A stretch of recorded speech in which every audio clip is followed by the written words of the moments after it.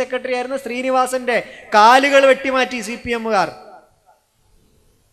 അതായത് കേരളത്തിൽ എവിടെ അക്രമമുണ്ടോ ഒരു ഭാഗത്ത് സി പി എം ആയിരിക്കട്ടോ. ആർ എസ് എസ്സുകാരനായ ജയകൃഷ്ണ മാഷ വെട്ടുന്നതും കോൺഗ്രസ്സുകാരനായ ശ്രീനിവാസനെ വെട്ടുന്നതും മുസ്ലിം ലീഗുകാരനായ പിലാത്തറയിലെ യുവാക്കളെ വെട്ടുന്നതും സി പി എം ആണ്. ഒരു ഭാഗത്തെപ്പോഴും സി പി എം റെഡിയാ ഈ കണ്ണൂരിൽ ഡി സി സി സെക്രട്ടറി ആയിരുന്ന ശ്രീനിവാസന്റെ കാൽ വെട്ടിമാറ്റി. ആര്? Communist party. നോട്ടീസ് ഉണ്ടായോ? റെയ്ഡ് ഉണ്ടായോ? വേറെ ഏതെങ്കിലും തരത്തിലുള്ള വാർത്തകൾ ഉണ്ടായോ? ഒന്നാം പേജിൽ ഇല്ല. എടക്കാട് അഡ്വക്കറ്റ് ആയിരുന്ന രവീന്ദ്രൻ തലശ്ശേരിയിലെ സുമേഷ് ഇവരുടെ രണ്ടുപേരുടെയും കൈകൾ വെട്ടിമാറ്റി. ആര്? കമ്മ്യൂണിസ്റ്റുകാര്. എന്തെങ്കിലും പ്രശ്നമുണ്ടോ? സി പി എമാർ വെട്ടിമാറ്റിയതാ. തലശ്ശേരിയിലെ സുമേഷിന്റെ കൈ തലശ്ശേരിയിലെ എടക്കാട് വക്കീലായ ടി പി രവീന്ദ്രന്റെ കൈ വെട്ടിമാറ്റി. കേരളത്തിൽ യാതൊരു പ്രശ്നം ഉണ്ടായിട്ടില്ല. നോട്ടീസില്ല. വേറെ തരത്തിലുള്ള നിരോധന ഭീഷണികളില്ല. അടിച്ചമർത്തലുകളില്ല റെയ്ഡില്ല ലഘുലേഖകൾ പിടിച്ചെടുക്കലില്ല.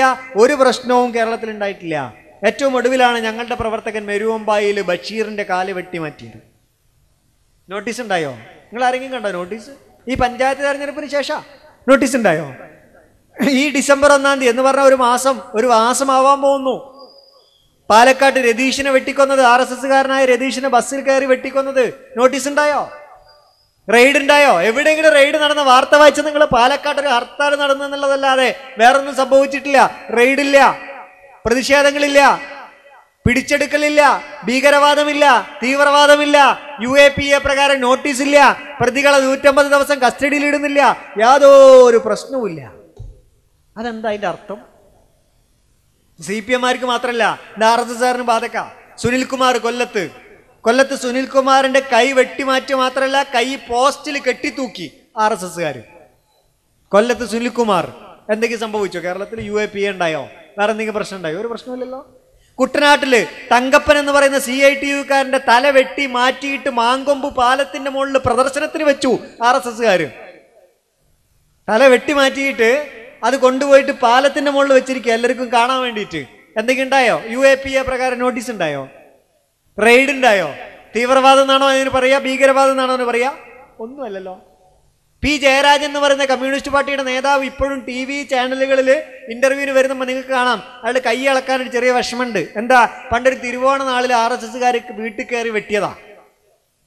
എന്നിട്ട് ജയരാജന്റെ വീട് മുതൽ എറണാകുളം സ്പെഷ്യലിസ്റ്റ് ഹോസ്പിറ്റൽ വരെ റോഡ് ബ്ലോക്ക് ചെയ്തിട്ടാണ് കൊണ്ടുപോയത് എമർജൻസി എന്നിട്ട് ജയകൃഷ്ണൻ അവിടെ വെച്ചുകൊണ്ട് ജയരാജൻ സ്പെഷ്യലിസ്റ്റ് ഹോസ്പിറ്റലിൽ ഡിസ്ചാർജ് ആവാതെ അവിടെ കിടന്നിട്ട് വാശി പിടിച്ചു എന്നാ എന്ത്?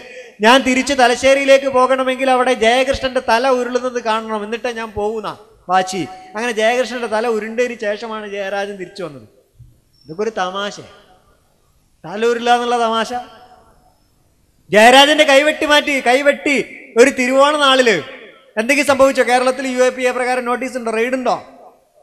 ഇത് മാത്രമല്ല കേരളത്തിൽ ഇങ്ങനെ ഒരുപാട് സംഭവമായി നടക്കണം. ഇപ്പതാ ഒരു നായര് പ്രശ്നം ഉണ്ടാക്കിയിട്ടുണ്ട് ആർ എസ് എസിന്റെ അക്രമങ്ങൾ ബോംബ് സ്ഫോടനം മുഴുവൻ നടത്തിയിട്ടതാ കോഴിക്കോട് ബാലുശ്ശേരിയിൽ വന്ന് താമസിക്കുന്നു എന്ന് ഉത്തർപ്രദേശ് പോലീസ് പറഞ്ഞപ്പോഴാണ് നമ്മളെ കേരള പോലീസ് അറിയണത്. എന്നിട്ടോ ഒരു റെയ്ഡ് നടത്തിയോ? നോട്ടീസ് ഉണ്ടോ? ഇവിടെ ഈച്ചപ്പടക്കം പൊട്ടിയാൽ മതിയല്ലോ ഇവിടെ സൗകര്യം ഉണ്ടാവില്ല മുസ്ലിം സമുദായം ആവണ്ട. മുസ്ലിം സമുദായത്തിന്റെ അടുത്തുകൂടെ ഒരു ഈച്ചപ്പടക്കം പോയാൽ മതി. മുസ്ലിം സമുദായം മൊത്തം ഭീതിയിലാണ് പിന്നെ. പിന്നെ റെയ്ഡാണ്. പിന്നെ പത്രങ്ങളിൽ മുഴുവൻ വെണ്ടക്ക വാർത്തയാ. പക്ഷെ ഇവിടെ ഗുജറാത്തിൽ മലേഗാവിൽ മൊദാസയിൽ സംജോത എക്സ്പ്രസിൽ മക്ക മസ്ജിദിൽ സ്ഫോടനം നടത്തിയ ഹിന്ദുത്വ ഭീകരവാദികളിൽ പെട്ട ഒരാൾ കോഴിക്കോട് ജില്ലയിൽ വന്നിട്ട് അഭയം തേടി ആർ എസ് എസ് കേന്ദ്രങ്ങളിൽ എന്ന് പറഞ്ഞിട്ട് ആർ എസ് എസിന് നേതാക്കന്മാരൊന്ന് വിളിച്ച് ചോദിക്കാനുള്ള നട്ടൽ കേരള പോലീസിന് നഷ്ടപ്പെട്ടു.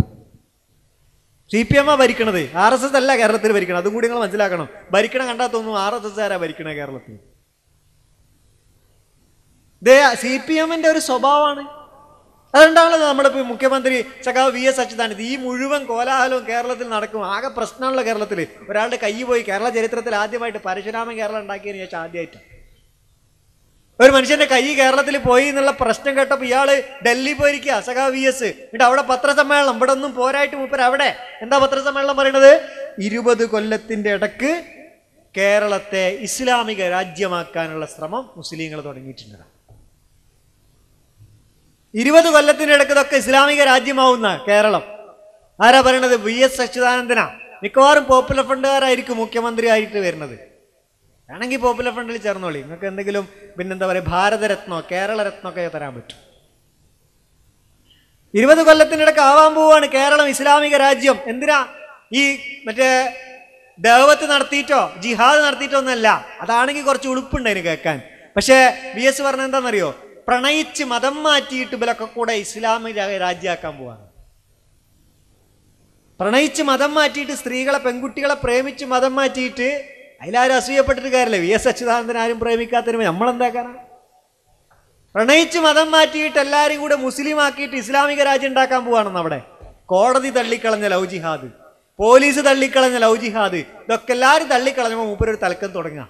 അല്ലെങ്കിൽ മൂപ്പർക്ക് ചില നേരത്തെ ഒരു തകരാറുണ്ട്. എപ്പോഴും ഇല്ല. നിങ്ങളോടാ പറഞ്ഞത്? മലപ്പുറം ജില്ലത്തെ ആൾക്കാരോടാ പറഞ്ഞത്? ഞാൻ കോഴിക്കോട് ജില്ലക്കാരാണ് മലപ്പുറം ജില്ലക്കാരോടാണ് പറഞ്ഞത് എന്ത്? നിങ്ങളെ മക്കളൊക്കെ പരീക്ഷ ജയിക്കുന്നത് കോപ്പി അടിച്ചിട്ടാണ്. ആ മൂപ്പർക്ക് അങ്ങനെ ചില സമയത്ത് അങ്ങനെ ഒരു വെളിപാട് ഇറങ്ങല നിങ്ങളെല്ലാവരും കോപ്പി അടിച്ചിട്ട് ജയിച്ചത്. റിയാസുദ്ദീൻ എന്ന് പറയുന്ന ഒരു I A S officer chief secretary ആവാൻ പോണ്ടതാ. ചീഫ് സെക്രട്ടറി എന്ന് പറഞ്ഞാൽ മുഖ്യമന്ത്രിയുടെ തൊട്ട് താഴെ അയാളെ ഹെൽപ്പ് ചെയ്തിട്ട്. പക്ഷെ റിയാസുദ്ദീനെ ചീഫ് സെക്രട്ടറി ആക്കിയില്ല. എന്താ കാരണം? ഒരു കാരണവും പറഞ്ഞില്ല. അയാൾ വിശ്വസ്തനല്ല എന്നാണ്. ഞങ്ങൾ അന്നേ പറഞ്ഞിട്ടുണ്ട് അയാൾക്കൊരു കുഴപ്പമില്ല അയാൾ മുസ്ലിമാണ്. മുസ്ലിമിനെ ചീഫ് സെക്രട്ടറി ആക്കൂല വി എസ്. അങ്ങനെ ഉണ്ട് അതിൽ. വി എസിന് അങ്ങനെ ഒരു തകരാറുണ്ട്. പിന്നെ സഖാവ് പിണറായി വിജയൻ എന്താ പറയുന്നത് പോപ്പുലർ ഫ്രണ്ട് ഓഫ് ഇന്ത്യയെ ഫിനിഷ് ചെയ്യും. നേരത്തെ ഇവിടെ പറഞ്ഞല്ലോ അതേമാതിരിയാ മൂപ്പര് ഉപയോഗിച്ച വാക്കാ. പോപ്പുലർ ഫ്രണ്ട് ഓഫ് ഇന്ത്യയെ ഫിനിഷ് ചെയ്യും. അഞ്ചു കൊല്ലം മുമ്പ് കേരളത്തിൽ യു എൽ ഡി എഫ് അധികാരത്തിലായ കയറുന്ന അന്ന് സി പി എം പറഞ്ഞൊരു സംഗതി ഉണ്ട് ഈ അഞ്ചു കൊല്ലം കൊണ്ട് എൻ ഡി എഫിനെ ഇല്ലാതാക്കുന്നു. അന്ന് എൻ ഡി എഫ് ആയി ഇവരിതൊക്കെ കൂടി പറഞ്ഞ് പറഞ്ഞ് പറഞ്ഞ് പറഞ്ഞ് ഇതിനെ വലുതാക്കി. പോപ്പുലർ ഫണ്ടാണ് അന്ന് കേരളത്തിലേ ഉള്ളതിന് ഇപ്പത് അലഹമില്ല ഇരുപത് സംസ്ഥാനങ്ങളിൽ ഈ സാധനം ഏറ്റവും ചുരുങ്ങിയത് ഇപ്പോൾ പ്രവർത്തിച്ചുകൊണ്ടിരിക്കുന്നു വെറുതെ പറയുന്നല്ല നിങ്ങൾ പോയി നോക്കിയാൽ മതി. എൻ പി ലോറി പോണ ആൾക്കാരോട് ഏറ്റവും ചുരുങ്ങിയത് ചോദിച്ചു നോക്കി. നാഷണൽ പെർമിറ്റ് ലോറി പോണ ആൾക്കാർ ഈ കൊടി അവിടെ ഉണ്ടാവും അപ്പോൾ അവരോടാണ് ചോദിക്കാൻ സുഖം. അവിടേക്ക് പോകാൻ പറ്റില്ലെങ്കിൽ? ഇരുപത് സംസ്ഥാനങ്ങളിൽ ഈ സാധനം എത്തി ഇത് ഫിനിഷ് ചെയ്യാൻ തുടങ്ങിയപ്പോഴാണ് ഇതിങ്ങനെ വലുതാവാൻ തുടങ്ങുന്നത്. മുസ്ലിങ്ങളിൽ നിന്ന് പോപ്പുലർ ഫണ്ട് ഓഫ് ഇന്ത്യ ഒറ്റപ്പെടുത്തുന്ന പറഞ്ഞ്. ഞങ്ങളാകെ ബേജാറായി.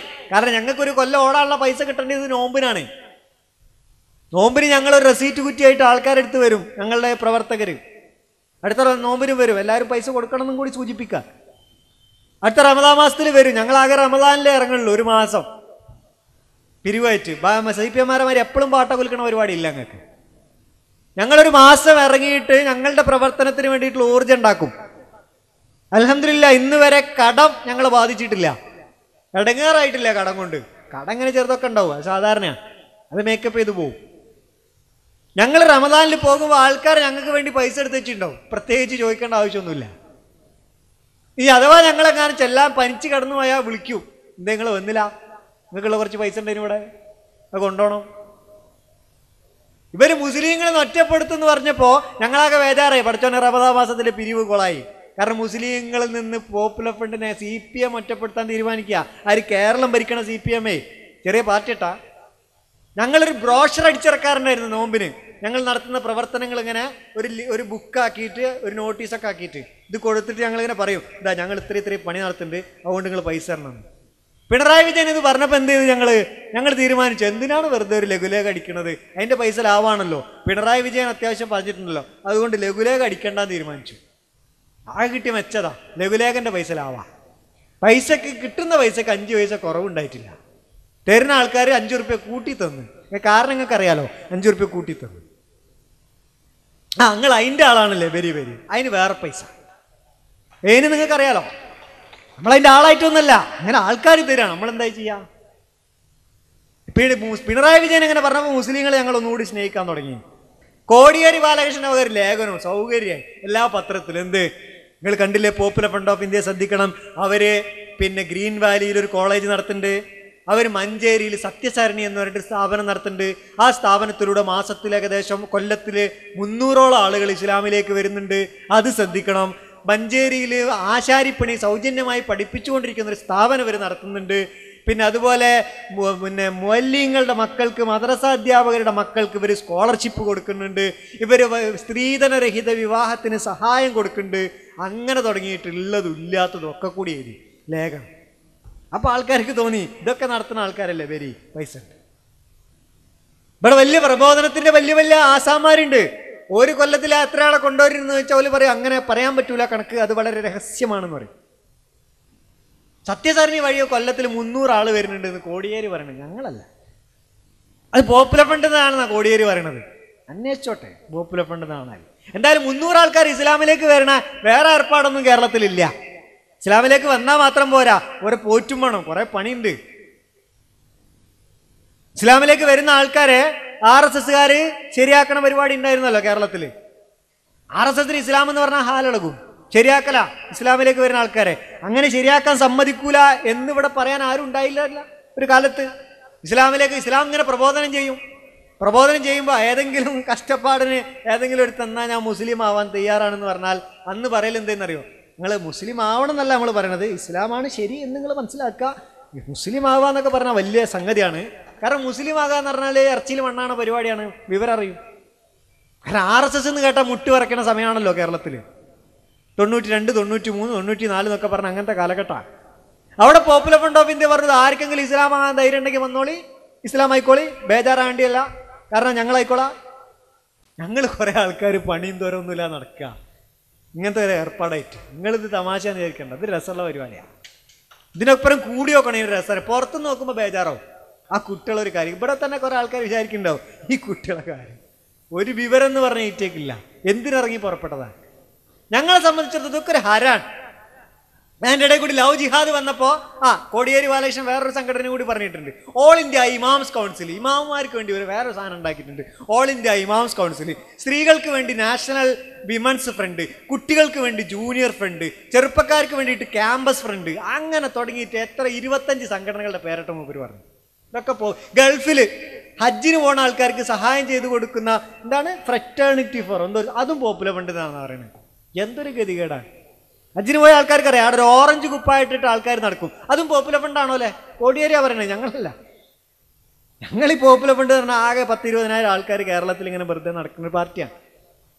ഏറ്റാർപ്പാടൊന്നും ഞങ്ങൾക്ക് പറഞ്ഞല്ല അപ്പൊ ഞങ്ങളെ സംബന്ധിച്ചിടത്തോളം ഇങ്ങനെ ഞാൻ പറഞ്ഞു വന്നത് ഈ ലവ് ജിഹാദ് എന്ന് പറഞ്ഞിട്ട് ഇസ്ലാമിലേക്ക് വന്നാൽ ആകെ പ്രശ്നമാണെന്നല്ല പറഞ്ഞു നമ്മളെ ശശികല ടീച്ചർ എന്നൊന്നും പറയണ്ട. ശശികല പിന്നെ നമ്മുടെ യൂണിവേഴ്സിറ്റിയിൽ വന്ന് പ്രസംഗിച്ചെന്താ അറിയോ?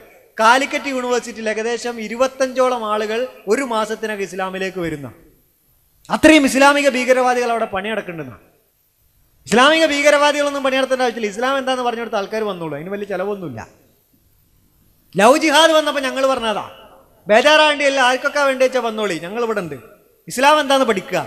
അള്ളാഹു ആരാണെന്ന് മനസ്സിലാക്കുക? ദൈവം എന്താണെന്ന് മനസ്സിലാക്കുക? ദൈവം എന്ന് പറഞ്ഞാൽ ഒന്നാണോ രണ്ടാണോ മൂന്നാണോ എന്നൊക്കെ പഠിക്കുക. അതൊക്കെ പഠിച്ചിട്ട് ഇസ്ലാം ആവാൻ തയ്യാറുള്ളവർ ഇസ്ലാം ആവുക ഇതേ ഞങ്ങൾ പറഞ്ഞിട്ടുള്ളൂ. ഇതൊക്കെ പറയുമ്പോൾ ആഭ്യന്തരമന്ത്രി ലേഖനം ഇതാണ് ഇവർ ഇങ്ങനെ ഭയങ്കര സംഘടനയാണ് ശ്രദ്ധിക്കണം. അന്വേഷണ ഉദ്യോഗസ്ഥൻ പറഞ്ഞ എന്താണെന്നറിയോ ഞങ്ങളോട്? പിടിച്ചുകൊണ്ടോ ആൾക്കാരോട് ഞങ്ങളുടെ മുൻ പ്രസിഡന്റ് സെക്രട്ടറി എല്ലാവരും കൊണ്ടോയല്ലോ യു എ പി എ പ്രകാരം നോട്ടീസ് കൊടുത്തിട്ട്. അവരോട് പറഞ്ഞത് നക്സലിസത്തെ ഇല്ലാതാക്കിയതുപോലെ നിങ്ങൾ ഇല്ലാതാക്കും. നക്സൽ പാർട്ടികൾ ഇല്ലാതാക്കിയതുപോലെ നിങ്ങൾ ഇല്ലാതാക്കുന്ന. ഇതെല്ലാവരും കൂടി ചേർന്നിട്ടുള്ളൊരു പരിപാടിയാണ്. എല്ലാവരും കൂടെ ഇതിലുണ്ട്.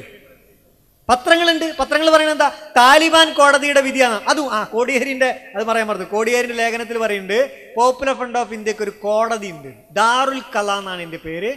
അവർ നാട്ടിൽ മധ്യസ്ഥ തർക്കം മധ്യസ്ഥം പറഞ്ഞിട്ട് തർക്കങ്ങളൊക്കെ തീർക്കുന്ന ദാറുൽ കല എന്ന് പറഞ്ഞ സാധനം ഉണ്ട് അതും ഉണ്ടോ പോപ്പുലർ ഫ്രണ്ട് എന്തോ ഒരു പോപ്പുലർ ഫണ്ടാണ് ആകെ ഇരുപത് കൊല്ലമായിട്ടുള്ളൂ കേരളത്തിൽ തുടങ്ങിയിട്ട്. അതിനൊക്കെ ദാറുൽ കലാന്റെ വിധിയാണ് അത്ര എന്ത്? കൈവെട്ടണമെന്ന്. അത് പോപ്പുലർ കൊണ്ട് നടപ്പിലാക്കിയതാണ്. ആര്? മലയാള മനോരമ. വിദേശത്ത് നിന്ന് പണം വരുന്നത് മറ്റേ ടാങ്കർ ലോറിയിലാക്കിയിട്ടാണ് പണം വരുന്നത് മനോരമയുടെ കണ്ടത്തിൽ. തീരദേശം വഴി ലോറിയിൽ കടലിൽ കൂടി. ഇങ്ങനെയാണ് പണം വരുന്നത് പോപ്പുലർ ഫണ്ട് ഓഫ് ഇന്ത്യയ്ക്ക്. കോടികൾ ഒഴുകി വരിക. ഇങ്ങനെ പറഞ്ഞിട്ട് എല്ലാവരും പത്രങ്ങൾ ഒരു ഭാഗത്ത് പോലീസ് ഒരു ഭാഗത്ത് സി പി എം ഒരു ഭാഗത്ത് ഇവരെല്ലാവരും ചേർന്ന് നിന്നുകൊണ്ട് കൂട്ടായിട്ടൊരു ആക്രമണമാണ് പോപ്പുലർ ഫ്രണ്ട് ഓഫ് ഇന്ത്യക്കെതിരെ ഇതിനെ ഫിനിഷ് ചെയ്യണം. ഞങ്ങളെ സംബന്ധിച്ചിടത്തോളം നേരത്തെ അവിടെ സൂചിപ്പിച്ചല്ലോ. ഞങ്ങൾ ഇങ്ങനത്തെ ഒരുപാട് അഗ്നി പരീക്ഷണങ്ങളിലൂടെ അള്ളാഹുവിന്റെ അപാരമായ അനുഗ്രഹത്തോടുകൂടി രക്ഷപ്പെട്ടു പോകുന്നതാണ് കോയമ്പത്തൂർ കലാപം നടന്നപ്പോൾ പറഞ്ഞു പോപ്പുലർ ഫ്രണ്ടാണ് മാറാട് എട്ട് ആർ എസ് എസ്സുകാർ കൊല ചെയ്യപ്പെട്ടപ്പോൾ സഖാവ് പിണറായി വന്നിട്ട് കൊല ചെയ്യപ്പെട്ട അന്ന് ആകെ പ്രശ്നമാണല്ലോ. നേരത്തെ വി എസ് പറഞ്ഞ പോലെ ഒരു നാട്ടിൽ പ്രശ്നം കത്തിക്കൊണ്ടിരിക്കുക. ആ പ്രശ്നം കത്തിക്കൊണ്ടിരിക്കുന്നത് എങ്ങനെ അടക്കുമെന്ന് ആൾക്കാരൊക്കെ ആലോചിച്ച് നിൽക്കുമ്പോൾ പിണറായി വിജയൻ വന്നിട്ട് പ്രസ് ക്ലബിൽ ഒരു പത്രസമ്മേളനം നടത്തുക. എന്താ മുമ്പ് പറയണത്? പ്രതികളെ പിടികൂടണമെന്നല്ല. മാറാട്ട് കലാപം നടത്തിയത് പോപ്പുലർ ഫണ്ടുകാരാണ് എൻ ഡി എഫ് ആയിരുന്നെന്ന്. എൻ ഡി എഫുകാരാണ് ഈ ബിലീസിന് അത്ര പണിയുള്ളൂ. ലേശം ജിലേബി എടുത്തിട്ട് വരുമ്പത്തേക്ക പിന്നെ നാട്ടുകാരമ്മ തല്ലു കുടിക്കും മൂപ്പര് പോയി. പ്രശ്നമായി ഇവിടെ. എല്ലാവരും കൂടി കുതിര കയറി. എൻ ഡി എഫിന് അങ്ങോട്ടാക്കും ഇങ്ങോട്ടാക്കും എന്നൊക്കെ പറഞ്ഞു. ഒന്നും ആയില്ല എങ്ങോട്ടും ആയില്ല. പ്രതികളെ കണക്ക് മുഖ്യമന്ത്രി മേശപ്പുറത്ത് വെച്ച് നോക്കിപ്പാരാ മുക്കാൽ ഭാഗവും സഖാക്കന്മാര്. പിന്നെയോ പിന്നെ കുറച്ച് ലീഗുകാരും. ഒറ്റ പോപ്പുലർ ഫണ്ടുകാരനുമില്ല എൻ ഡി എഫ് കാരനുമില്ല. മാറാട്. ഈ മലപ്പുറം ജില്ലയിൽ കറുത്ത തുണി വിൽക്കാൻ പാടില്ല. പോപ്പുലർ ഫണ്ടുകാരെ പ്രശ്നം ഉണ്ടാക്കുന്നു. പണ്ട് കണ്ണൻ എം എൽ എ നിയമസഭയിൽ പറഞ്ഞതാ. ഇവിടെ കറുത്ത വിറ്റാലും വെളുത്ത വിറ്റാലും പോപ്പുലർ ഫണ്ടുകാരൻ ഒരു പ്രശ്നമില്ല കച്ചവടം നടക്കണം അതിലെ അഭിപ്രായം കോഴിക്കോട് ബസ് സ്റ്റാൻഡിൽ രണ്ട് ഈച്ചപ്പടക്കം പൊട്ടി. ഭയങ്കര സ്ഫോടനം. എൻ ഐ എന്ന് പറഞ്ഞാൽ ഏഴാനാകാശത്ത് നിന്നിട്ട് ഇറങ്ങി വരുന്ന ഒരു സാധനമാണെന്ന് വിചാരം വന്ന് അവിടെ എല്ലാ പ്രശ്നവും അവസാനിക്കും. കോഴിക്കോട് ബോംബ് സ്ഫോടനത്തിൽ വന്നു എൻ ഐ എ ഇവിടെ local police Kozhikode Kasaba police ആരാണോ പിടിച്ചത് പോലെ തന്നെയാണ് എൻ ഐ എയും പിടിച്ചത്. ഇനിയിപ്പോൾ എന്തിനാ N I A N I A വന്ന് ഭയങ്കരമായ അന്വേഷണം അന്ന് പോലീസ് അന്വേഷിക്കുന്ന കാലത്ത് കോഴിക്കോട് പുതിയ സ്റ്റാൻഡിൽ കൂടി ഒരു മുസൽമാന് പോകാൻ പറ്റൂല. പിടിച്ച് പേര് ചോദിച്ചാൽ മുസ്ലിം ആണെങ്കിൽ ബസ് കയറ്റുക കൊണ്ടുപോവുക ഇവിടെ ചോദ്യം ചെയ്യുക കോഴിക്കോട് സ്ഫോടനം. പറഞ്ഞില്ലേ പോപ്പുലർ ഫണ്ടാന്ന് പറഞ്ഞു എൻ ഡി എഫ് എന്ന് പറഞ്ഞു കോഴിക്കോട് സ്ഫോടനം. കാശ്മീരിലേക്ക് ഭീകരവാദികളെ ട്രെയിനിങ് ചെയ്തിട്ട് കയറ്റി അയച്ചിട്ട് ഭീകരവാദികൾ കാശ്മീരിൽ നിന്ന് വെടിയേറ്റ് മരിച്ചു എന്നാ നാലാൾക്കാർ മരിച്ചോ മരിച്ചില്ല എന്നുള്ളത് ഇപ്പോഴും സംശയമാണ് കോടതിക്ക് സംശയം പോലീസിന് സംശയം എൻ എക്കും സംശയമാണ് ഈ നാലാൾക്കാർ കൊല്ലപ്പെട്ടു എന്നാ പറഞ്ഞത് കാശ്മീരിൽ അത് വെണ്ണപ്പോ ആരാ പറഞ്ഞത്? പോപ്പുലർ ഫണ്ടാണ് അവസാനം ആരാ പിടിച്ചത് ഇപ്പോ?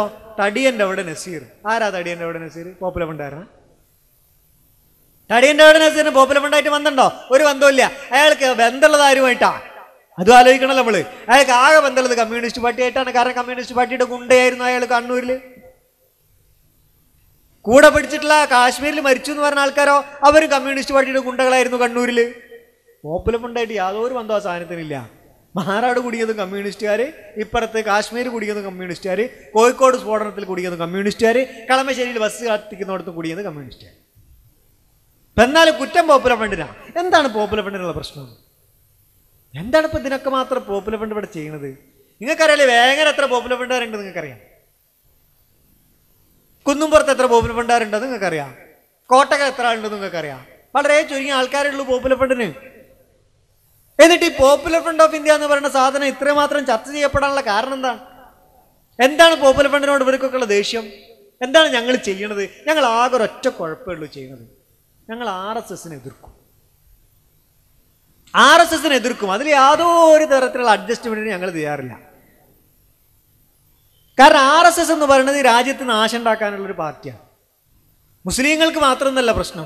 ഇവിടെ നമുക്കറിയാലോ ഞാൻ നേരത്തെ പറഞ്ഞ മലേഗാവിൽ മദാസയിൽ സംജോത എക്സ്പ്രസ്സിൽ മക്ക മസ്ജിദിൽ ഇവിടെ മുഴുവൻ സ്ഫോടനം നടത്തി. സംജോത എക്സ്പ്രസ്സിൽ ഇവിടെ ഒക്കെ സ്ഫോടനം നടത്തിയിട്ട് മുസ്ലിങ്ങളെ പിടിച്ചുകൊണ്ട് പോണത്. ഇപ്പോൾ തരിഞ്ഞില്ല ആരാ നടത്തുന്നത്? സ്വാമിനി പ്രജ്ഞാ സിംഗ് ഠാക്കൂർ. സ്വാമി ദയാനന്ദ് പാണ്ഡെ സുനേഷ് സുനിൽ ജോഷി പിന്നെ അസിമാനന്ദ കേണൽ ശ്രീകാന്ത് പുരോഹിത് എന്ന് തുടങ്ങിയിട്ടുള്ള ആൾക്കാരാണ് ഇതിന്റെ നേതൃത്വത്തിൽ. കേണൽ ശ്രീകാന്ത് പുരോഹിത് എന്നൊക്കെ പറഞ്ഞ കേണൽ എന്ന് പറഞ്ഞ ആരാന്നറിയാം നിങ്ങൾക്ക്? നമ്മുടെ പോലീസിൽ എസ് പി റാങ്കിൽപ്പെട്ട ഒരാൾ കേണലിനെ കണ്ടാൽ സല്യൂട്ട് ചെയ്യണം. അങ്ങനത്തെ colonel Srikanth Purohit R S എസിന് വേണ്ടി പണിയെടുക്കുക ഇന്ത്യൻ സൈന്യത്തിൽ നിന്ന്. അയാളാണ് ബോംബ് ഉണ്ടാക്കാനുള്ള ആർ ഡി എക്സ് സൈന്യത്തിൽ നിന്ന് കൊണ്ടു കൊടുക്കുന്നത്. പൊട്ടിക്കാൻ നിർദ്ദേശം കൊടുക്കുന്നതാരാ സ്വാമിനി പ്രജ്ഞാസിംഗ് ഠാക്കൂർ കാവിയിൽ പൊതിഞ്ഞ സന്യാസിനി. കൂടുള്ളതോ സ്വാമി ദയാനന്ദ് പാണ്ഡെ സ്വാമി അസിമാനന്ദ സ്വാമിമാരൊരു പട. ആർ എസ് എസിന്റെ വേറൊരു പട. ആ പടയിൽപ്പെട്ട ഒരു സാധനമാണ് ഇപ്പൊ കോഴിക്കോട് ബാലുശ്ശേരിയിൽ എവിടെയോ ഒളിവിൽ താമസിക്കുന്നുണ്ട് എന്ന് പോലീസ് പറയണത്. സുരേഷ് നായർ. ആലോചിക്കണം ഇത്രയും വലിയ ഗുജറാത്ത് മുതൽ ഇങ്ങോട്ടുള്ള കണ്ണി കിടക്കുക. എന്ത്? ഈ സ്ഫോടനം നടത്തിയ ആൾക്കാര്. അഭിനവ് ഭാരത് എന്ന് പറയുന്ന സംഘടന. പിന്നെ അതുപോലെ സനാതൻ സംസ്ഥാൻ എന്ന് പറയുന്ന സംഘടന. ശ്രീരാമസേന എന്ന് പറയുന്ന സംഘടന. ഇങ്ങനെ തുടങ്ങിയിട്ട് ഒരുപാട് സംഘടനകളുടെ പേരിൽ സ്ഫോടനം നടത്തിക്കൊണ്ടിരിക്കുക. രാഷ്ട്രീയ സ്വയം സേവക സംഘം ആർ എസ് എസ്. ഇന്നൊന്നും തുടങ്ങിയതല്ല. തൊള്ളായിരത്തി ഇരുപത്തഞ്ച് മുതൽ ഇന്ത്യയിൽ പ്രവർത്തിച്ചുകൊണ്ടിരിക്കുന്ന സാധനം ആർ എസ് എസ്. മഹാത്മാഗാന്ധിയെ വെടിവെച്ച് കൊന്നവർ ബാബരി മസ്ജിദ് തകർത്തവർ. ഇവരെ എതിർക്കുക എന്നുള്ളത് മുസൽമാന്റെ മാത്രമല്ല ഇന്ത്യയെ സ്നേഹിക്കുന്ന എല്ലാവരെയും പരിപാടിയാണ്. ഇത് ഞങ്ങൾ ചെയ്യും. ആർ എസ് എസിനെ എതിർക്കേണ്ടത് എങ്ങനെയാന്നുള്ളതിന് ഞങ്ങളെടുത്ത് ഉത്തരമുണ്ട്. പലയിടത്തും ഇല്ലാത്തൊരു ഉത്തരം ഞങ്ങളെടുത്തുണ്ട് ചില ആൾക്കാർ വേണ്ടത് ആർ എസ് എസിനെ എതിർക്കാൻ നമുക്ക് വലിയൊരു തുണി വലിച്ചു കെട്ടിയിട്ട് അതിന്റെ മുകളിൽ ചിത്രം വരച്ചുകൊണ്ട് ആർ എസ് എസിനെ എതിർക്കാം. അങ്ങനെ ഗുജറാത്ത് കലാപം നടന്നപ്പോൾ നമ്മളെ സി പി എമാർ ചെയ്ത പണി എന്താണെന്നറിയോ? ഗുജറാത്ത് കലാപം കത്തിപ്പടരുമ്പോൾ വലിയൊരു തുണി വലിച്ചിട്ടിട്ട് അതിൽ കലാപത്തിനെതിരെ ചിത്രരചനയോടൊരു പ്രതിഷേധിച്ചു. അവിടെ ഗാന്ധിയുടെ വലിയ ഗുജറാത്ത് എന്ന് പറഞ്ഞാൽ അറിയാലോ ഗാന്ധിജി ജനിച്ച സ്ഥലമാണ്. സബർമതി ആശ്രമമുണ്ട് അവിടെ ഗാന്ധിയുടെ. ഗാന്ധിയുടെ ജീവിത രീതി സ്വീകരിച്ചുകൊണ്ട് സബർമതി ആശ്രമത്തിൽ ഇപ്പോഴും ആൾക്കാർ ജീവിക്കുന്നുണ്ട്. ഒരുപാട് ഗാന്ധിയന്മാർ ഗുജറാത്ത് കലാപം നടക്കുമ്പോഴുണ്ട് അവരവിടെ അവരെന്താ ചെയ്തെന്നറിയോ ഗുജറാത്ത് കലാപമൊക്കെ കഴിഞ്ഞപ്പോൾ ഗുജറാത്തിലൂടെ ഒരു ശാന്തി യാത്ര നടത്തി. മുസ്ലിം സമുദായം പിന്നെ എന്തിനാ പ്രശ്നം ഉണ്ടാക്കണേ? മറ്റൊരു ചിത്രം വരയ്ക്കണ്. ഇവർ ശാന്തി യാത്ര നടത്തണേ മുസ്ലിം സമുദായത്തൊക്കെ കണ്ട് സമാധാനം അടഞ്ഞിരുന്നാൽ പോരെ. നിങ്ങൾ എന്തിനാ വെറുതെ തീവ്രവാദം ഭീകരവാദം തന്നെ പോണത്? ഇവിടെ കുറെ മുസ്ലിം സമുദായത്തിലെ സംഘടനകളുടെ ഒരു സംഘടന ഒരു സംഘടനയുള്ളൂ ആ സംഘടനയുടെ ചില പരിപാടിക്ക് വലിയൊരു കവിയെ കൊണ്ടിരുത്തും അയാൾ ഇരുത്തണ എന്താണെന്ന് അറിയോ? അയാൾ ഗുജറാത്ത് കലാപം നടക്കുമ്പോൾ കവിത എഴുതി പ്രതികരിച്ച ആളാണ് അവിടെ അയാൾ നമ്മൾ ബഹുമാനിക്കും. ബഹുമാനിച്ചോട്ടെ നമുക്ക് എതിർപ്പൊന്നുമില്ല. പക്ഷെ എന്താണ് പരിഹാരം? ഗുജറാത്തിൽ കലാപം നടന്ന ആയിരക്കണക്കിന് മുസ്ലിങ്ങളെ കൊല്ലുക. പല ജാതി പല ടൈപ്പ് കൊല്ലല. വയറ് കുത്തിക്കീറി കൊല്ല തലയിലൂടെ പെട്രോൾ ഒഴിച്ച് കൊല്ല വായിൽ പെട്രോൾ ഒഴിച്ച് തീക്കൊളുത്തി കൊല്ല തല അടിച്ചു കൊല്ല ഓട്ടർഷ നിറക്കിയിട്ട് കാൽ പിടിച്ച് തല റോഡിലടിച്ച് കൊല്ല പിന്നെ തലയിലേക്ക് പിന്നെ പിന്നെ ബോംബ് വെച്ചിട്ട് മേലോട്ട് എറിഞ്ഞിട്ട് കൊല്ല പല ടൈപ്പ് കൊല്ലലുവാ ഗുജറാത്തിൽ നടന്നത്. ബാക്കിയുള്ള ആൾക്കാർ മുഴുവൻ റേഷൻ കാർഡും വീടും കത്തി നശിച്ചുകൊണ്ട് അഭയാർത്ഥി ക്യാമ്പിൽ ഒന്നര ലക്ഷം മുസ്ലിങ്ങൾ ഇതൊക്കെ സംഭവിച്ചത് ഈ ആർ എസ് എസ് എന്ന് പറയുന്ന സാധനം ഇന്ത്യ രാജ്യത്ത് നടത്തി ആ ആർ എസ് എസിനോട് നമ്മൾ ഏത് സമീപനം സ്വീകരിക്കണം? ഞങ്ങൾക്ക് അതിൽ അഭിപ്രായമുണ്ട് അഭിപ്രായമുണ്ട്. ആർ എസ് എസിനോട് ധീരമായ സമീപനം സ്വീകരിക്കണം. ഞങ്ങൾ ഇടക്കാലത്ത് ഒരു പോസ്റ്റർ ഇട്ടിച്ചിരുന്നു. ഫാഷിസത്തിന് മൗനം പരിഹാരമല്ല. ഫാഷിസത്തിന് എന്താണ് പരിഹാരം നിങ്ങൾ ആലോചിച്ചോളി. ഞങ്ങൾ പറയണത് മൗനം പരിഹാരമല്ല. മിണ്ടാതെക്കുക എന്നുള്ളത് പരിഹാരമല്ല. മിണ്ടണം. അതെന്തുകൊണ്ടാണ് മിണ്ട നാവുകൊണ്ടാണോ? കയ്യോണ്ടാണോ കാലുകൊണ്ടാണോ? എന്നുള്ള സമയത്തിനനുസരിച്ച് മാറും. അത്രേ ഇത് പറയല കുഴപ്പം? ഈ രീതിയിൽ പ്രവർത്തിക്കല കുഴപ്പം? എങ്കിൽ നിങ്ങൾ പോപ്പുലർ ഫണ്ടിന് അങ്ങോട്ട് മിണുങ്ങാന്നല്ലാതെ ഈ സാധനം പരിപാടി നിർത്താൻ പോണില്ല. കാരണം ആർ എസ് എസിന് ഞങ്ങളുടെ പരിപാടി അതാ. ആർ എസ് എസ് ആറിന് ഒന്നുകിൽ ഞങ്ങളെ കൊല്ല അല്ലെങ്കിൽ ഞങ്ങൾ ആർ എസ് എസ് ആറിനെ പ്രതിരോധിക്കുക. കൊല്ലാനൊന്നും ഞങ്ങൾ പോകണില്ല ആർ എസ് ആറിനെ പ്രതിരോധിക്കുക. ആർ എസ് ആറിന് ഓന്റെ പണിയായിട്ട് പോയിക്കോട്ടെ. ഞങ്ങൾക്ക് എതിർപ്പൊന്നുമില്ല. പക്ഷെ മുസ്ലിങ്ങളെ മെക്കെട്ട് കയറാൻ വരണ്ട. ദളിതുകളുടെ മെക്കെട്ട് കയറാൻ വരണ്ട. ആദിവാസികളുടെ മെക്കെട്ട് കയറാൻ വരണ്ട. ഇവരൊക്കെ ഞങ്ങളെ ചോരയാണ്. നിങ്ങൾക്ക് പറഞ്ഞാൽ മനസ്സിലാവൂല. പിന്നാക്കക്കാരൊക്കെ ഇവർക്ക് പോയി സിന്ദാബാദ് വിളിക്കണ്ടല്ലോ മനസ്സിലാക്കുക? നമ്മളൊക്കെ ഒരു ചോരയാ. നമ്മളെ കൊല്ല എന്നുള്ളത് ഇവരെ പരിപാടിയാ. ആ പരിപാടി ഞങ്ങൾ സമ്മതിക്കൂല. ഇത് ഞങ്ങൾ അവസാനിപ്പിക്കും. മുസ്ലിം ആകാൻ വരുന്ന ഒരാൾക്ക് ധീരമായി കോടതിയിൽ വന്നിട്ട് ഞാൻ മുസ്ലിം ആകാന്ന് പറഞ്ഞിട്ട് അടുത്ത ബസ്സിൽ കയറി സ്വതന്ത്രമായി തിരിച്ചു പോകാൻ പറ്റണം. ഇന്ത്യയിൽ എവിടെയായാലും. മുസ്ലിമിന് പ്രതിഷേധിക്കാൻ പറ്റണം ഇന്ത്യയിൽ എവിടെയും. ധീരമായിട്ട് സമാധാനപരമായി പ്രതിഷേധിക്കാൻ പറ്റണം. മുസ്ലിമായി വരുമ്പോൾ ബേജാറോടുകൂടി ഒളിച്ചോടിപ്പോണ്ട ആവശ്യം ഉണ്ടാവരുത് ധീരമായി നിൽക്കാൻ വരണം പറ്റണം. മുസ്ലിങ്ങൾക്ക് പള്ളി ഉണ്ടാക്കി നിസ്കരിക്കാൻ പറ്റണം. അത് പൊളിച്ചു മാറ്റാൻ പാടില്ല. ഇതിനൊക്കെ പ്രതിരോധിക്കണം. ബാബരി മസ്ജിദ് തല്ലിപ്പൊളിച്ച് തകർത്ത് തരിപ്പണമാക്കിയിട്ട് പതിനെട്ട് കൊല്ലം കഴിഞ്ഞു. ഈ പതിനെട്ട് കൊല്ലത്തിന്റെ ഇപ്പുറം കേരളത്തിലെ ഇന്ത്യയിലെ ഏതെങ്കിലും രാഷ്ട്രീയ പ്രസ്ഥാനത്തിന് ബാബരി മസ്ജിദിനെ കുറിച്ച് എന്തെങ്കിലും ഒന്ന് പറയാണ്ടോ ഒന്നും പറയാനില്ലല്ലോ ആരും മിണ്ടുന്നില്ലല്ലോ. പക്ഷെ പോപ്പുലർ ഫ്രണ്ട് ഓഫ് ഇന്ത്യയുടെ ദേശീയ രാഷ്ട്രീയ സമ്മേളനത്തിൽ വെച്ച് പോപ്പുലർ ഫ്രണ്ട് ഓഫ് ഇന്ത്യയുടെ എംപവർ ഇന്ത്യ കോൺഫറൻസിൽ വെച്ചിട്ട് ഞങ്ങളുടെ മുൻ ചെയർമാൻ ഇ അബൂബക്കർ സാഹിബ് പറഞ്ഞ സംഗതി ഉണ്ട് ഇൻഷാല്ല ബാബരി മസ്ജിദ് പുനർനിർമ്മിക്കുക തന്നെ ചെയ്യും. അതിൽ യാതൊരു സംശയവും വേണ്ട. അത് പോപ്പുലർ ഫ്രണ്ട് ഓഫ് ഇന്ത്യയുടെ ലക്ഷ്യമാണ് കാരണം എന്താ? അതൊരു ലക്ഷ്യമാണ്. ആർ എസ് എസ് ആര് പള്ളി വിളിക്കണ്ട? അവരാരെ പള്ളി വിളിക്കാൻ? അവർ പള്ളി വിളിച്ച് ആരെങ്കിലും ശിക്ഷിക്കാൻ ഇന്ത്യയിലെ ഭരണകൂടത്തിന് സാധിച്ചോ? ഒരാളെങ്കിലും ഒരു ആശ്വാസത്തിന് മുസ്ലിങ്ങളെ ഇതാ നിങ്ങൾ പള്ളി വിളിച്ച ആളിതാ ഇയാളെ ഞങ്ങൾ ഒരു ഒരു ദിവസം തടവിലിടുന്നു ഒരു സമാധാനം. ഒരു ദിവസം ഒരു ഇരുപത് ട്വന്റി ഫോർ അവേഴ്സ് കേട്ടോ ഇല്ലല്ലോ? എത്ര കൊല്ലായി? പത്തൊമ്പത് കൊല്ലായി. എന്താ ഇവിടെ സംഭവിച്ചത്? എന്താ ഇടാത്തത് നിങ്ങൾ മുസ്ലിങ്ങൾക്ക് നീതി വേണ്ടേ? മുസ്ലിങ്ങൾക്ക് സമാധാനം വേണ്ടേ? സ്വൈര്യ ജീവിതം വേണ്ടേ? ആരാധനാ സ്വാതന്ത്ര്യം വേണ്ടേ? ഇതൊക്കെ തകർത്ത് കളഞ്ഞത് രാഷ്ട്രീയ സ്വയം സേവക സംഘം R S S R S എസിനെ ഞങ്ങൾ എതിർക്കും യാതൊരു സംശയവുമില്ല. പിന്നെന്താ ഞങ്ങൾ ചെയ്യുന്ന കുഴപ്പം? ഞങ്ങൾ ആൾക്കാർ സ്വീകരിക്കുന്നു എന്നുള്ള. മുസ്ലിം സമുദായം മാത്രമല്ല പിന്നാക്കക്കാരും സ്വീകരിക്കുന്നു. ഞാൻ പറഞ്ഞില്ല നേരത്തെ റമദാൻ പിരിവ് പറഞ്ഞല്ലോ? ഞങ്ങളുമായിട്ട് എല്ലാവരും സ്നേഹത്തിലാണ് ഇപ്പൊ കുറച്ച് സ്നേഹം കൂടും കൂടി ചെയ്തിട്ടുണ്ട്. ഞങ്ങളൊക്കെ കൂടി വാർത്ത ഉണ്ടാക്കിയിട്ട് എല്ലാവരും കൂടി ഞങ്ങളെ സ്നേഹിക്കാൻ തുടങ്ങി. ആ വാർത്ത വന്നതിന് ശേഷം എല്ലാവർക്കും സ്നേഹം മുസ്ലിം സമുദായത്തിന് പ്രത്യേകിച്ചു. പിന്നെയോ മൂന്നാമത് ഞങ്ങൾ ചെയ്യുന്ന കുഴപ്പം ഇന്ത്യ സാഹചര്യത്തിനനുസരിച്ചാണ് ഞങ്ങൾ പ്രവർത്തിക്കുന്നത്. ഞങ്ങൾ വെറുതെ ബോംബ് പൊട്ടിക്കുക വെറുതെ ആളെ കൊല്ലുക വെറുതെ പിന്നെന്താ പറയുക കലാപം നടത്തുക അങ്ങനത്തെ ഏർപ്പാടൊന്നും ഞങ്ങൾക്കില്ല. ട്രെയിനിൽ ബോംബ് വെക്കുക ബസ്സിൽ ബോംബ് വെക്കുക ബസ് സ്റ്റാൻഡിൽ ബോംബ് പൊട്ടിക്കുക അങ്ങനത്തെ ഏർപ്പാടിനൊന്നും പോപ്പുലർ ഫണ്ടിനെ കിട്ടൂല. അത് നേരത്തെ ഞങ്ങളുടെ മുൻ പ്രസിഡന്റ് പറഞ്ഞല്ലോ അത് നാലോ അഞ്ചോ ആൾ മതി. പക്ഷേ പോപ്പുലർ ഫണ്ട് ഓഫ് ഇന്ത്യ ജനകീയ പ്രതിരോധമാണ് ഇവിടെ തീർക്കുന്നത്. അല്ലാണ്ട് ബോംബ് പൊട്ടിക്കണ പരിപാടിയൊന്നുമല്ല.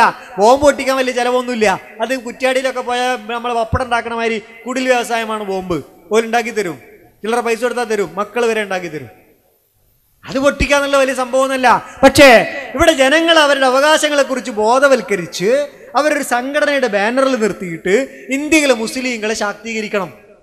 ഞങ്ങൾ ലക്ഷ്യത ഇത് പറയാൻ തന്റെ ഇടമുള്ള ഒരു മുസ്ലിം സംഘടന ഇന്ത്യയിലുണ്ടോ? ഇന്ത്യയിലെ മുസ്ലിങ്ങളെ കുറിച്ച് സംസാരിക്കാൻ തന്റെ ഇടമുള്ള മുസ്ലിം സംഘടന? ഇരുപത്തിരണ്ട് സംസ്ഥാനങ്ങളിൽ പ്രവർത്തിച്ചുകൊണ്ടിരിക്കുന്ന ഒരു സംഘടന എന്നുള്ള നിലക്കാണ് ഞങ്ങൾ പറയുന്നത് മുസ്ലിങ്ങൾ വലിയ പ്രശ്നത്തിലാണ് നിങ്ങൾ വിചാരിക്കണ മാതിരി ഈ വേങ്ങരയിലത്തെ മുസ്ലിങ്ങളുമായിരിക്കും കേരളത്തിലെ മുസ്ലിങ്ങളെ സുഖജീവിതം സുഖജീവിതമൊന്നുമല്ല. ഞങ്ങൾ കുറച്ച് റിക്ഷ കൊടുത്തിരുന്നു മുസ്ലിങ്ങൾക്ക് ബംഗാളിൽ കുറച്ച് റിക്ഷ ബൈക്ക് റിക്ഷ വലിച്ചോണ്ട് അവർ ജീവിക്കണത്. ആര്? ഔറംഗസീബിന്റെ ഒക്കെ അനുയായികളാണ് പേര് അക്ബറിന്റെ ഒക്കെ മക്കള മക്കളെ മക്കളെ. പക്ഷെ അക്ബർ ഇന്ത്യ വലിച്ചിരുന്നു പറഞ്ഞിട്ട് കാര്യമില്ല.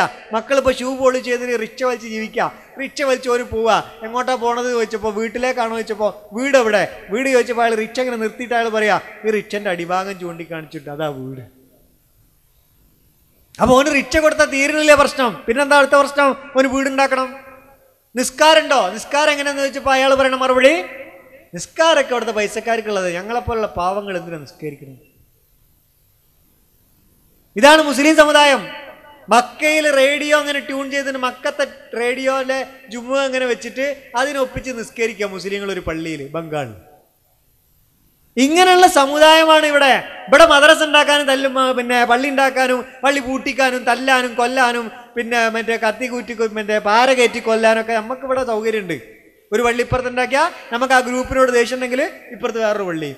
ആ ഗ്രൂപ്പിൽ നമ്മൾ തെറ്റിപ്പിരിഞ്ഞാൽ അതിന്റെ അപ്പുറത്ത് വേറെ പള്ളി. നമുക്ക് ഇഷ്ടം പോലെ ഇവിടെ ഉണ്ടാക്കാം. റമദാ മാസത്തിൽ നമുക്ക് എന്ത് ചെയ്യാം? പ്രധാനപ്പെട്ട പരിപാടി ഇത് പൊളിച്ച് ടൈൽസ് ആക്കുക ടൈൽസ് പൊളിച്ച് മാർബിൾ ആക്കുക. നമുക്ക് ഭയങ്കര രസമുള്ള പരിപാടി. അവിടെ പള്ളിയില്ല. ഇത് ഉണ്ടാക്കണ്ടേ ആരുണ്ടാക്കുക? പള്ളി ഉണ്ടാക്കണമെങ്കിൽ പള്ളി പോകാൻ ആളുണ്ടാക്കണം. ആളുണ്ടാക്കണമെങ്കിൽ എന്ത് ചെയ്യണം? മദ്രസ എന്താ തുടങ്ങണം? ആരാ തുടങ്ങുക? കേരളത്തിൽ ഏതെങ്കിലും പ്രസ്ഥാനങ്ങൾ തുടങ്ങോ പോപ്പുലർ ഓഫ് ഇന്ത്യ ഒരു ചെറിയ പണി തുടങ്ങിയിരിക്കുക അവിടെ. വീട് വേണം. കലാപത്തിന്റെ ഇരകളാണ് അവർ. വീട് വേണം. തൊഴിൽ വേണം. പണിയില്ല. നമ്മൾ കണ്ടല്ലോ ഒന്നര ലക്ഷം അഭയാർത്ഥികളായിരുന്നു ഗുജറാത്തിലെ ഷാ ആലമ ക്യാമ്പിലുണ്ടായത്. കേന്ദ്ര ഗവൺമെന്റ് ഗുജറാത്ത് മുഖ്യമന്ത്രി നരേന്ദ്രമോദിയോട് ചോദിച്ചു അവിടെ കലാപത്തിന്റെ ക്യാമ്പുണ്ടോ? അയാൾ പറഞ്ഞു ക്യാമ്പില്ല എന്ന് പറഞ്ഞിട്ട് ക്യാമ്പ് അടച്ചുപൂട്ടി എല്ലാത്തിനെയും പുറത്തേക്ക് വിട്ട്. നിങ്ങൾ ആലോചിച്ച് നോക്ക് ഒന്നര ലക്ഷം മനുഷ്യന്മാര് പുറത്തേക്ക് ഇറങ്ങുക. ഒരു പണിയില്ല വീട് എവിടെ എന്നറിയില്ല വീട്ടിലേക്ക് പോകാനുള്ള ഗ്രാമത്തിന്റെ അടുത്തത്തെ ഗ്രാമത്തിന് മുമ്പിൽ പഞ്ചായത്ത് ഓഫീസിന്റെ ബോർഡല്ല. അവിടെ വലിയ ബോർഡ് ഉണ്ടാക്കിയത് എന്ത്? മുസ്ലിങ്ങൾ ഇല്ലാത്ത ഗ്രാമം. അതാ എല്ലാ ഗ്രാമത്തിന്റെ പ്രത്യേകത. വടോദരയുടെ മുമ്പിലൊക്കെ ബോർഡാ. മുസ്ലിങ്ങൾ ഇല്ലാത്ത ഗ്രാമം. അങ്ങനെ ആക്കി മാറ്റി ഗ്രാമങ്ങൾ എന്നിട്ട് അവിടെയുള്ള കുറച്ച് കുട്ടികളെ കൊണ്ടുവന്നിട്ട് കോഴിക്കോട് കുറച്ച് എത്തിങ്ങാനിൽ ചേർത്താൻ വേണ്ടിയിട്ട് കോഴിക്കോട്ട് ഒരു പൈസക്കാരൻ കൊണ്ടുവന്നപ്പോൾ പോലീസ് പിടിച്ച് ആകെ പ്രശ്നം. തീവ്രവാദ കേന്ദ്രം അങ്ങോട്ട് ഇങ്ങോട്ട്. എന്തൊരു കഷ്ടമാണ് ഇത്. അവിടെയുള്ള കുറച്ച് കുട്ടികളെ കൊണ്ടുവന്നിട്ട് ഇവിടുത്തെ എത്തിങ്ങാനെ ചേർത്തിട്ട് ആയിട്ടുള്ള ഭക്ഷണം കഴിച്ചോട്ടെ എന്ന് തീരുമാനിച്ചപ്പോൾ മലയാള മനോരമയ്ക്ക് പറ്റണില്ല. കോഴിക്കോട്ട് മലയാള മനോരമയ്ക്ക് നാല് പേജ് അഡീഷണൽ ഉണ്ടാവും. Colour page metro Manorama. ആ മെട്രോ മനോരമയിൽ ഫോട്ടോ എന്ത്? തീവണ്ടിയിൽ കൊണ്ടുവന്ന കുട്ടികളുടെ ചിത്രം. എന്നിട്ട് നരകയാതന ആകെ പ്രശ്നം വാർത്ത. എന്നിട്ട് പിറ്റേന്ന് ജുവനൈൽ ജസ്റ്റിസ് ബോർഡ് കേസെടുക്കുന്നു. പോലീസ് അറസ്റ്റ് ചെയ്യുന്നു. ഇവരെ കൊണ്ടുപോയി ഷോർട്ട് സ്റ്റേ ഹോമിൽ താമസിപ്പിക്കുന്നു. പിറ്റേന്ന് മനോരമയിൽ മെട്രോ എഫക്റ്റ് മെട്രോയിലെ വാർത്തയുടെ എഫക്റ്റ് ആണ് അത്ര എന്ത്? ഈ എത്തിങ്ങാനൽ കൊണ്ടുവന്ന കുട്ടികളെ ചൈൽഡ് ഹോമിൽ പാർപ്പിച്ചു. കള്ളന്മാരുടെ കുറ്റവാളികളുടെ ഇടയിൽ മനോരമയ്ക്ക് സമാധാനമായി മനോരമ വാങ്ങി വായിക്കും നാല് ഉറുപ്പ്യ കൊടുക്ക് ദിവസവും. ആ നാല് ഉറുപ്പ്യ കൊണ്ട് മക്കൾക്ക് നാല് മിഠായി വാങ്ങി കൊടുത്തു നിങ്ങൾക്ക്? ആയിട്ടൾ തിന്നോട്ടെ പല്ലല്ല വെടക്കാവുള്ളൂ ഇത് തലച്ചോറ് മൊത്തം വെടക്കാവുന്ന പരിപാടിയാ. തേജസ് വാങ്ങണമെന്ന് ഞങ്ങൾ പറയുന്നില്ല. ലീഗുകാർ ചന്ദ്രിക വാങ്ങാം ജമാഅത്താർ മാധ്യമം വാങ്ങാം. ഇതൊന്നും രണ്ടും വേണ്ടാത്തുള്ളൂ തേജസ് വാങ്ങിക്കോളി. തേജസ് വാങ്ങിക്കോളി വാർത്ത ഉണ്ടെങ്കിൽ വാങ്ങിക്കോളി ദേശ വാർത്തയുള്ള പത്രം വാങ്ങിക്കോളി. പക്ഷേ ഈ സാധനം ഉണ്ടല്ലോ ഇത് നമ്മുടെ കുട്ടികളുടെ സംസ്കാരം നശിപ്പിക്കും. നമ്മളെ മുഴുവൻ വേറൊരു രീതിയിൽ ചിന്തിപ്പിക്കും ആ പത്രം. എത്തിങ്ങാനെ കൊണ്ടുവന്നു കുട്ടികളെ ചേർക്കാൻ കൊണ്ടുവന്ന് ഇപ്പോൾ ഇപ്പോഴും ആയിട്ടുള്ള പുറത്താ. ഇപ്പോൾ ഗുജറാത്ത് ഗവൺമെന്റ് ഗുജറാത്ത് ഗവൺമെന്റ് കൊടുത്ത സർട്ടിഫിക്കറ്റ് ഉണ്ട് ഇയാളുടെ കയ്യിൽ. എന്ത്? ഈ കുട്ടികളെ അനുമതി പ്രകാരം കൊണ്ടുവന്നതാണെന്ന്. എന്നിട്ട് സമ്മതിക്കണില്ല മനോരമ. എന്തൊരു ദേഷ്യമാണ് മനോരമയ്ക്ക് മുസ്ലിം സമുദായത്തോട്? മുസ്ലിം സമുദായം എന്തേ മനോരമ ജോലി ചെയ്തത്? മലപ്പുറം ജില്ല ഒന്നും ചെയ്തിട്ടില്ലല്ലോ. മലപ്പുറം ജില്ലയിൽ മുസ്ലിങ്ങൾ മൊത്തം വാങ്ങുന്നത് മനോരമയല്ലേ? നമ്മുടെ സലാത്ത് നഗറിൽ സലാത്ത് നടന്നാൽ മറ്റേ ബുഖാരിയുടെ വലിയ ഫോട്ടോ സലാത്ത് നഗറിൽ സ്പെഷ്യൽ സപ്ലിമെന്റ് ഷിയാബ് മരണപ്പെട്ട ചിയാപതങ്ങൾക്ക് സപ്ലിമെന്റ് മലയാള മനോരമയ്ക്ക് മാത്രമേ നടക്കുള്ളൂ. ഇങ്ങനെ നടത്തുന്ന ഇങ്ങനെ പ്രചരണം മുസ്ലിം സമുദായത്തിനെതിരെ. അപ്പൊ ഈ സമുദായത്തെ ഗുജറാത്തിൽ ഞാൻ പറഞ്ഞു ഇങ്ങനെ ആട്ടിപ്പായിച്ച് ഒന്നര ലക്ഷം മനുഷ്യന്മാരുണ്ട്. നമ്മൾ കൊടുക്ക